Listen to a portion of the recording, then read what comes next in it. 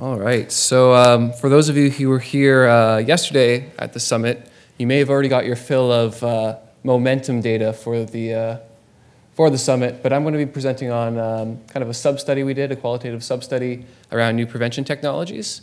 Um, so we can kind of get into uh, into what those look like in a moment. Um, but I really want to look at the um, kind of the relationship between education and stigma um, as they relate to these new technologies. So just to provide some basic overarching epidemiological uh, background knowledge here, um, this is stuff we're all probably quite aware of. Uh, we've seen a really dramatic decline in HIV mortality over the last two decades, um, but HIV transmissions among young gay men, or among gay men as a whole, have remained uh, relatively consistent. We've actually seen increases among young gay men, um, and as a result of this, uh, gay men remain vastly overrepresented in uh, Canada and British Columbia's HIV epidemics. Um, and this is obviously something that, uh, that's deeply problematic in a lot of different ways. Um, but into this kind of uh, stagnancy in some ways, we've also seen uh, the emergence of new prevention technologies, so, uh, or NPTs as we're calling them here. So by this we mean recent biomedical HIV treatment advances uh, that make use of HAART uh, or highly active antiretroviral therapy as a prevention method um, and as we're conceptualizing this term, uh, we're kind of thinking about three different uh, interventions uh, that kind of overlap. And again, we're probably all quite familiar with these. Um, so PrEP or uh, pre-exposure prophylaxis, the consistent use of HAART uh, by HIV negative individuals prior to potential exposure to prevent seroconversion. Um, PEP, which is a 28-day course of HAART taken by HIV negative individuals immediately following a potential exposure uh, to prevent seroconversion. And then kind of the outlier of the three, um, TASP for treatment is prevention, which is the use of HAART to treat HIV positive individuals uh, to lower individual and population level viral loads. So it's a little bit less, uh, less directly uh, aimed at HIV negative men, but uh, still very much pertaining to prevention. Um, and collectively, these interventions have started to shift the way we think about HIV prevention and risk reduction as a whole. Um, so whereas we might have thought of HIV positive um, individuals from an HIV negative man's perspective as high risk at one point, this emerging category of undetectability has really forced us to start to think, uh, think about that in, in different terms now. Um, so here's some, some visual representations of uh, these new prevention technologies, which are really gaining um, a great deal of prominence uh, and education has long been seen as a, as a fundamental part of uh, promoting NPTs. Um, and implementation will ultimately really require uh, awareness, knowledge, acceptability, and use among gay men. Um, so by awareness, we just simply mean, do you know of this, this technology's existence, this intervention's existence? Knowledge is more looking at deeper levels of understanding. Um, acceptability is more, does this, does this intervention actually work for you, or are there barriers kind of in place? That make that not very practical um, or, or, useful to you. And then actual rates of use, um, just who's actually using this stuff. Um, and we've seen that major gaps persist in this education process. Uh, and this is deeply problematic to uptake of NPTs um, and really damages their effectiveness. So we can take a quick look at the overview of some of the, the knowledge we have of education regarding these technologies. Um, so PEP is kind of the most established of the three in many jurisdictions. It's been around for the longest amount of time. Um, however, in Vancouver, it's still a bit more of a recent, uh, a recent phenomenon. We've only had a pilot study since 2012. Um, nonetheless, levels of awareness among gay men here are very high, um, over 50%. Um, so that's certainly a positive. Um, but we also see a lot of kind of gaps in knowledge um, and inconsistent uh, kind of misconceptions those types of things. So, you know, the idea that there's PEP and PrEP and those acronyms sound almost exactly identical, that's not exactly helpful. Um, and, uh, you know, there's this misconception of PEP as a morning after pill instead of this more extensive um, course of treatment. Uh, and acceptability has also been a, a, factor that a lot of people uh, are worried about. So am I actually at risk of infection? If you, if you don't feel like you're at risk, you won't actually seek out treatment. Um, and also, there's this barrier of healthcare providers. Are they actually willing to prescribe PEP? And we know of incidences where that, that's not the case, and that can obviously be a major barrier as well. So here we have uh, some images from Health Initiative for Men's PEP campaign, um, which is a great educational resource, and we kind of have this, this visualization of PEP as part of the toolkit of HIV prevention. So just adding this, uh, this extra kind of tool to the kit. Um, PrEP education, PrEP is a, is a very recent intervention within the Canadian context as it only really received Health Canada approval in February of this year. Um, not surprisingly, that also means that rates of awareness aren't nearly as high here uh, as they are in some other contexts, uh, though I would like to mention that uh, these numbers are from 2012 to 2014 and have probably shifted quite a lot already. Um, and we've also seen that uh, following FDA approval in the United States, these awareness rates really uh, skyrocketed. So we expect that we'll see a, a major shift in that, that area. Um, we see additional gaps in knowledge as well surrounding PrEP education. Uh, as mentioned, that kind of conflation of PEP and PrEP is one of those gaps. Um, and just knowing how it really works on a deeper level and how effective it is. Um, and we also see multiple barriers to acceptability, including uh, concerns about adherence, cost, side effects, uh, perceived effectiveness, and many other things. So if you don't have health healthcare coverage for PrEP, it's $900 a month. That's obviously a major barrier. Um, and so ultimately, we see really low rates of use, even in high awareness contexts. Here again, we have another Health Initiative for Men uh, educational resource, their Get Prepped campaign, which is, uh, again, a very recent uh, campaign that they launched earlier this year. Um, and what I really like about this campaign is that it really kind of provides these, uh, these personal testimonies of PrEP users uh, kind of right next to really high quality factual information and all within this really accessible kind of medium. Um, YouthCo also has a really great uh, PrEP resource that we, we can look at a little bit too. Um, so TASP education, TASP is a little bit of a less established prevention uh, strategy in most jurisdictions. There's less research on it, and there's a lot less research on how education has kind of functioned around that. Um, in the Vancouver context, we see kind of an exception.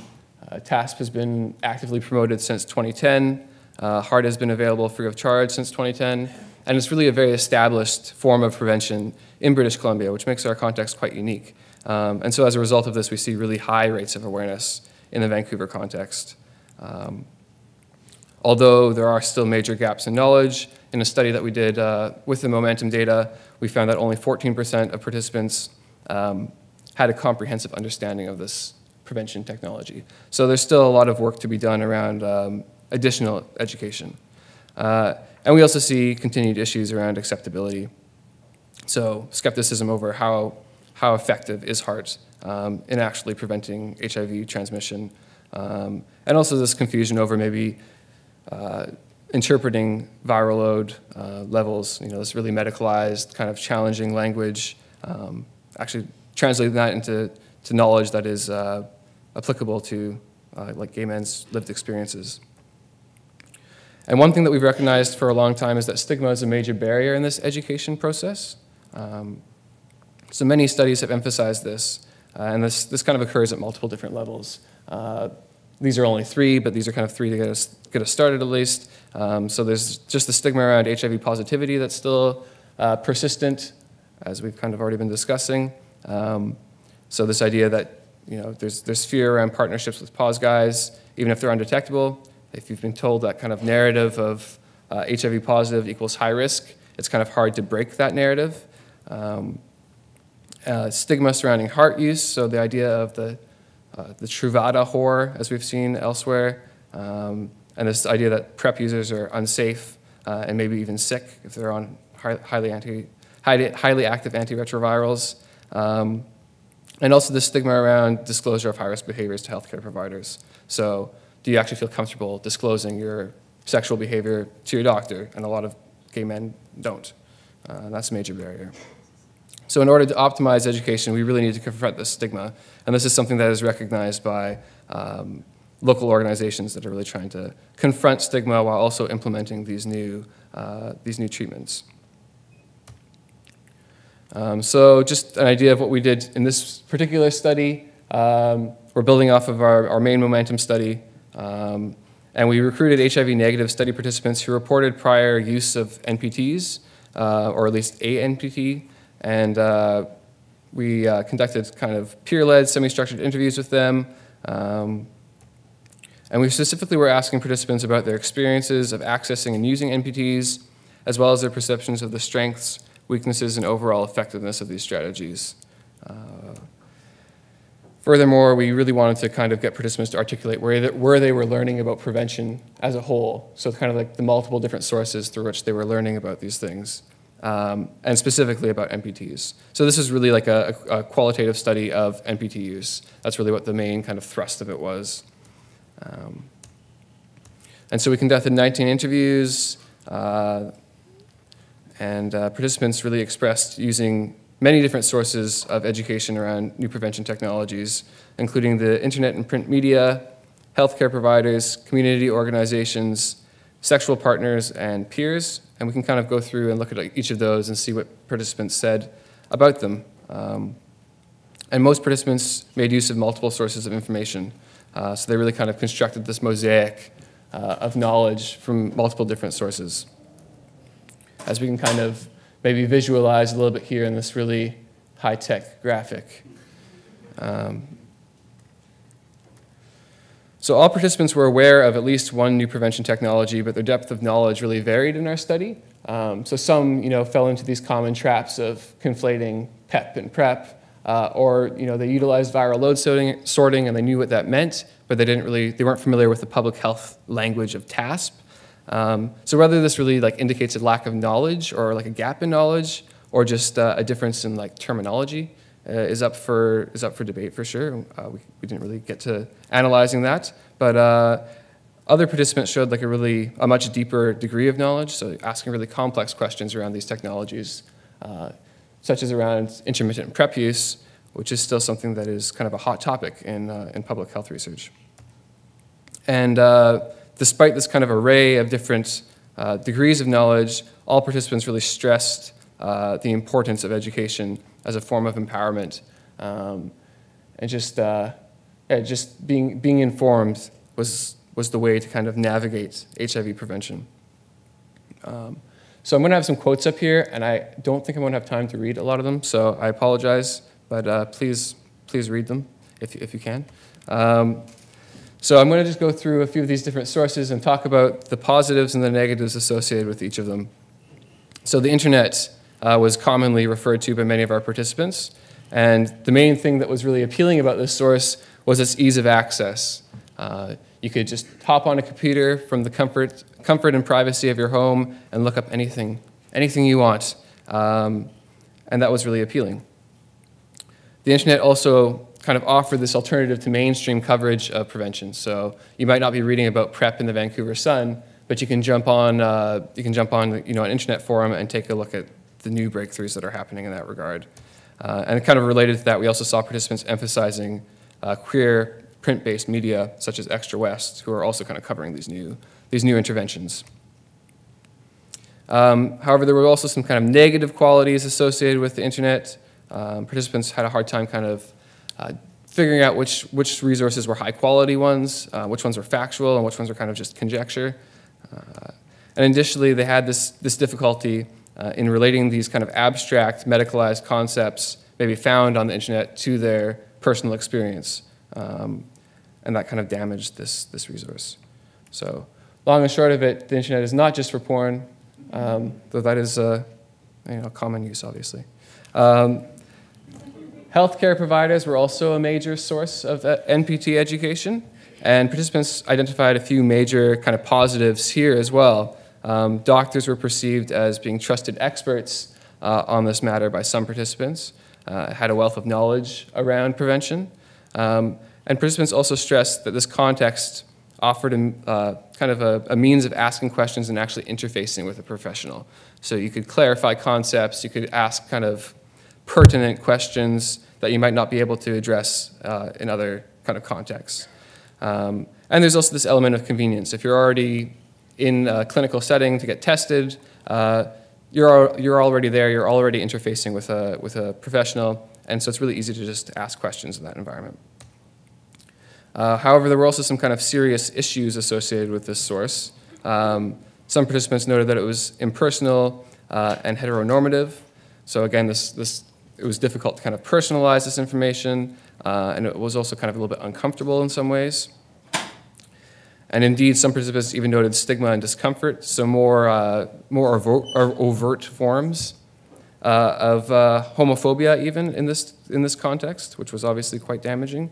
Um, and really, other participants noted that HCPs weren't always experts on this stuff, um, mainstream ones at least. So sometimes your doctor was more confused than you were about this stuff. Um, so in contrast to that, uh, community-based providers were portrayed in a very positive light by our participants and mentioned, uh, mentioned by almost every one of them. So these were the HCPs that really had the expertise. Um, they could tell you the difference in risk between topping and bottoming, uh, or you know, the, the real risk associated with being with a partner who was undetectable. And this is stuff that you couldn't really access through a mainstream HCP. Um, and additionally, you could actually have an open, frank conversation with these healthcare providers about sex, which you might not be able to have with a, a mainstream H, uh, healthcare provider. Um, and other participants really mentioned overtly uh, specific community-based health campaigns, such as Health, for, health Initiative for Men campaigns, um, like naming them by name and talking about them in a really kind of positive, positive light as well. And so there's not a lot of negatives associated with this, according to our participants, but they did, they did acknowledge that there's kind of this, this minimum, like there's, a, there's limits. There's kind of a limit to the scope of these projects, um, both geographically and in terms of funding. So again, we can kind of see the, uh, the Do the Math campaign, uh, another health initiative for men campaign, where you can kind of take a look at your, your level of risk. You can calculate your level of risk, look at a few different ways of mitigating that risk, and, and do that all while looking at some, some bums, which is great. Um, so sexual partners were also, uh, also a major source, um, and some participants really heavily relied on them. Uh, so there's, there's, this idea of this kind of being an organic context, um, because gay men are going to seek out sex. And so if they, uh, if they can actually get some education through that resource, um, that would be really beneficial, and some of them did. Other participants noted that this was more of like a catalyst for further information seeking. So it was like more a spark to seek out further, further degrees of knowledge through other sources. Um, but participants also noted questionable expertise as a potential pitfall of this, uh, of this source of education. Um, so do they really know what they're talking about? Uh, and also this idea that there might be some ulterior motives to education through a partner who might just be trying to get you into bed. Um, and also, additionally, the idea that these kind of conversations, there's some stigma around this, uh, and they're not exactly sexy. They're not something you want to be talking about right before jumping in the sack. Um, so a final kind of source here was peer education, um, and this was talked about even more extensively than partners. Um, and so one of the benefits of this was that it was kind of free of the constraints of that sexually, uh, sexually fueled environment. So there's no kind of interruption to the heat of the moment. Um, you can just kind of have these frank discussions with uh, your friends. Um, and there's also kind of this idea of being able to like set your knowledge next to somebody else's knowledge and kind of compare those things and build off of them. Um, and maybe kind of, uh, yeah, check in and see what, what, what actually seems to be factual.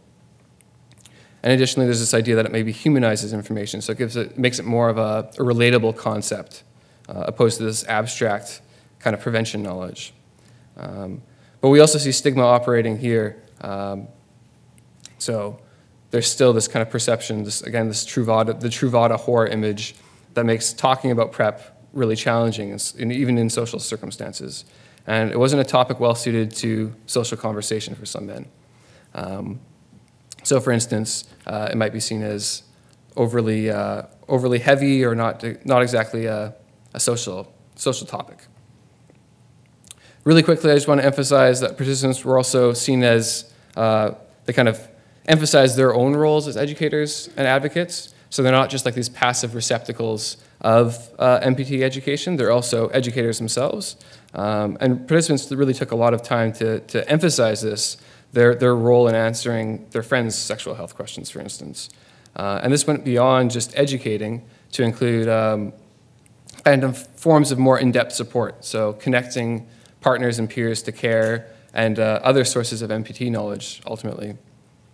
And uh, we also see uh, a greater degree of also advocacy amongst our participants for improved education and support. So kind of fighting for more uh, community acknowledgement of this issue. Uh, and uh, yeah.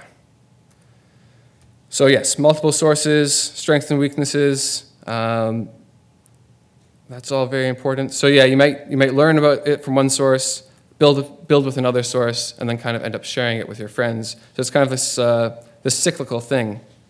And just a few ideas of how we might actually work to improve this mode of education. Um, so combining factual, trusted information with personal testimony. Um, so participants had a hard time finding both of those things in the same space, and also combining high quality information with ease of access. So one of the one of the places we might see this is in a campaign such as HIM's prep campaign, where we have personal testimony, we have really high quality information, and we also have this ease of access on the internet. Um, we also need to continue to embrace community-based peer-led education, which is something that we're already doing really well, I think, in Vancouver. Uh, but just a reminder that that's something that needs to continue. And we need to focus on fostering a greater degree of health literacy opposed to just simply awareness. Um, as you know, aware, awareness leaves a lot of gaps in that knowledge. Um, and we also have to acknowledge the role that early adopters may play in this process. So thinking about the internet, for instance, uh, early adopters of the internet really played a prominent role in shaping those norms. And we speculate that uh, the early adopters of these technologies will also shape the norms around them, so they have a really important role to play. Um, and ultimately, we really, need to we really need to deconstruct stigma on multiple different levels, as we've kind of noted. Um, there's all these different kind of barriers at the, level, at the level of healthcare providers, at the level of conversations with your partners and peers. Um, and so we really need to confront PrEP uh, confront stigma as we're rolling out these NPTs. Um, so this can be done on a case-by-case basis, but also at a structural, foundational kind of level. Um, and I am definitely out of time. So uh, here's all this information, and I'm just going to click through and acknowledge all our great partners. Um, yeah, thank you so much.